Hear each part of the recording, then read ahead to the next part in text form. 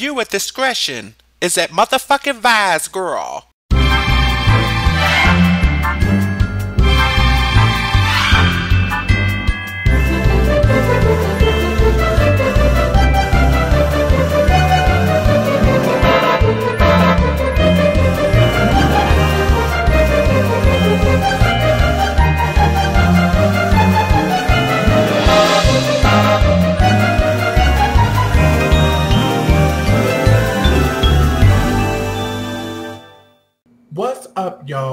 Today we are going to talk about coming out the closet.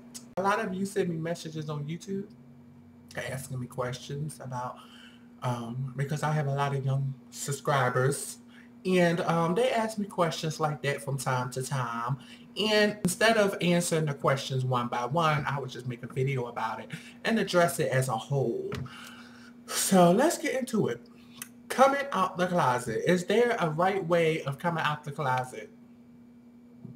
No, I'm afraid not. There's no right way to coming out the closet. There's no right way to say I'm gay. You know what I'm saying? Because it is what it is. And, you know, hey, we had fun yesterday, right? We did have fun. Oh, by the way, I'm gay.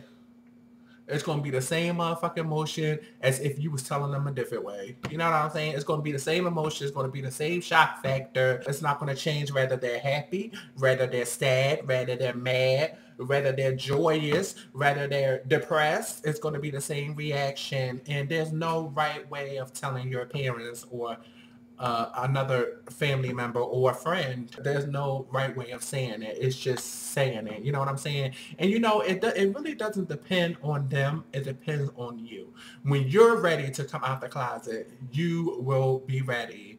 You know, someone messaged me the other day and said, uh, they said that, um, you know, I was raised in a religious household. And she said that her parents are very strict or very into their religion and sh- she wasn't sure how to go about coming out the closet to them. Um, the advice I would give her is, or him, I'm not really sure of the gender of the person. I forget. I'm sorry if I don't remember, but honey, the person that asked me the question, I will say, I will say that um, I would definitely, now this is opinion based. So if you don't agree with my opinion, respectfully disagree and write in the comment box why you disagree. Don't come to my motherfucking video to my bitch. No, you don't know what the fuck you talk about. This is the way that she should do it or he should do it, blah, blah, blah. No, respectfully disagree and tell me why you disagree. I really understand and I respect what you say, but this is what I think about it. You know what I'm saying? In that type of way. So, what I would do is definitely wait until your situation is a little more independent because what happens is a lot of teenagers find themselves in the predicament where they're under the roof of their parents and their parents are paying for everything. They're paying for their education. They're paying for their food. They're paying for their clothes and everything. And they just have no sense of independence. And then they come out the closet and some of those parents will kick them out you know, they you know the kids end up on streets. You know, they end up doing other things that they have no business doing or because they were disowned by their parents. So to avoid that particular situation, I would definitely wait until you're a little bit more independent enough to where you're surviving on your own, when you don't need the financial support of your parents. Then that would be one step closer to being ready to come out of the closet because there's no um you know, I'm you there's no one way ready. You know what I'm saying? There's no uh, right way to be ready. When you're ready, you're ready. You know what I'm saying? If you're ready to stop hiding, if you're ready to uh, um, be open about your life and your sexual life and your relationship status and not feeling the need to lie about your existence, then, you know, um, that's when you're ready. You know what I'm saying? But until then, um, it, it's you know it's really up to you, and there's no right way of coming out to your parents. There's just a you know it's just your way. Basically, is what I would say. There's no right way. There's your way. So um, I would definitely in that particular situation, I would definitely wait until you are a little bit more independent enough to um, you know, let your parents know because like I said, you're, you you can't predict what your parents will think. You know what I'm saying? They might be, there's some parents out there that might be okay with it. There's some parents up, out there that will not be okay with it. There's some parents out there who may get violent. There's some parents out there who may get depressed. There's some parents out there who may kick their child out the household. You know, you never know. You can never know. You know what I'm saying?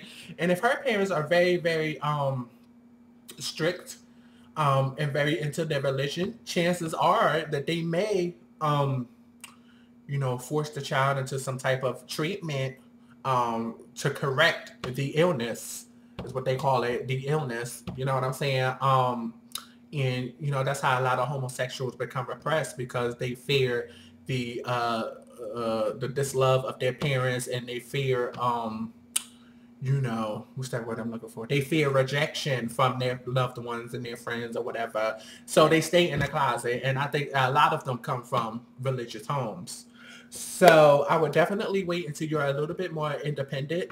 Um, if you find that you're not able to wait that long, if you find that you are you want to come out now, then that is your decision but just be aware that your parents it can go either way. You know what i'm saying?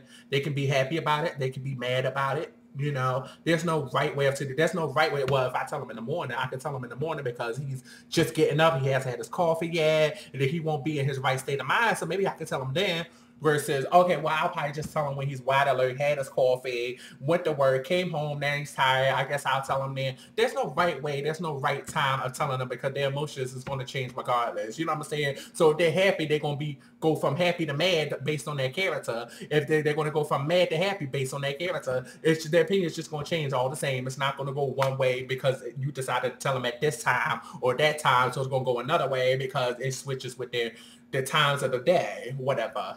I might not be making a lot of sense right now because I was just engaging in some extracurricular activity, if you will. yes, Miss Honey, extracurricular, extracurricular. But yes, Miss Honey, um, I would definitely, you know, consider waiting. Um, but that's my opinion on that. On for you. Um, just wait until you're ready. You know what I'm saying? If you are ready, then you are ready, then there's nothing stopping you. If you're if you are, I, I think that someone is ready to come out of the closet if they are prepared to accept the consequences that come with that. You know what I'm saying?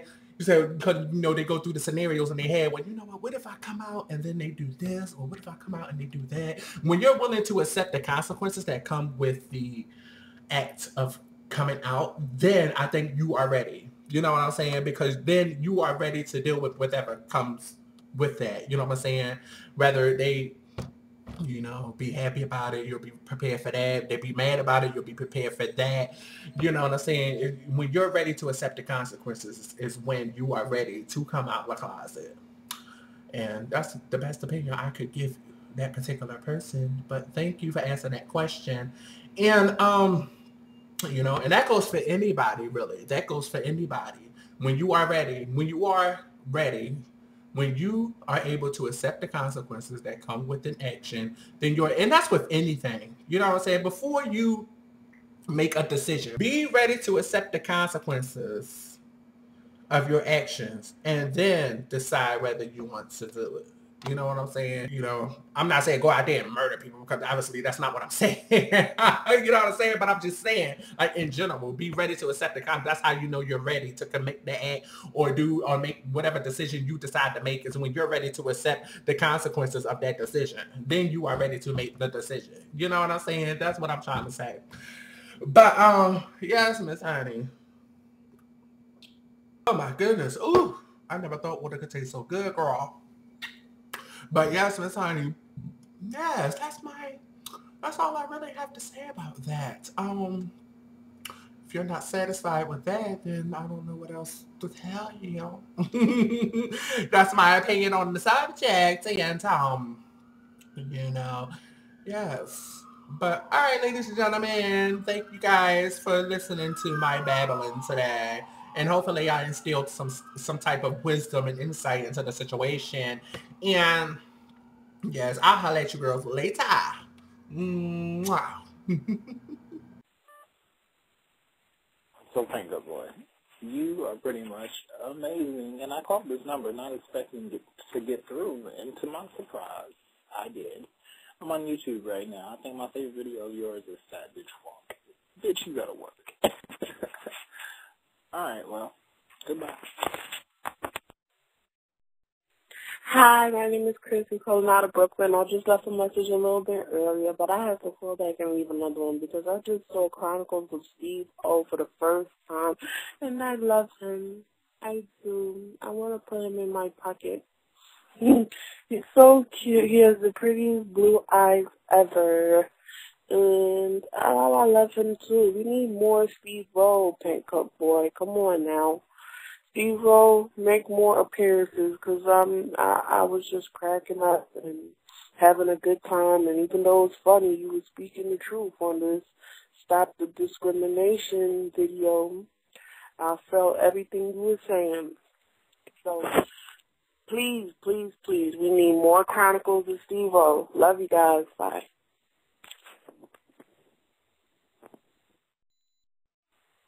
Hi, Pank Cup Boy. My name is Chrissy. I'm from Brooklyn, New York, and I just called to let you know, oh my God, I love you so much. I thought we was one of your first few subscribers, and I just love you. Like, you're just a funny person that I would love to hang out with on a daily basis.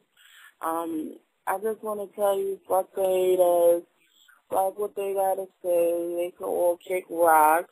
You will always have fans, uh, subscriber, and me. And, you know, we're going to rock it out till the end of time. So, once again, I love you so much. Keep doing what you're doing. I be sitting at my desk at my job, and they think I'm crazy, but they don't know that I ha- I'm watching you on YouTube, laughing with the earphones in my ear. Okay. So I love you, honey. Just keep doing what you're doing, and I'll keep on watching. Talk to you later.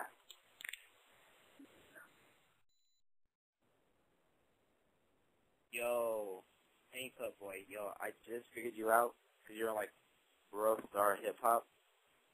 Yo, you fucking go hard as hell. And you're gay? Yo, that's just classy as fuck.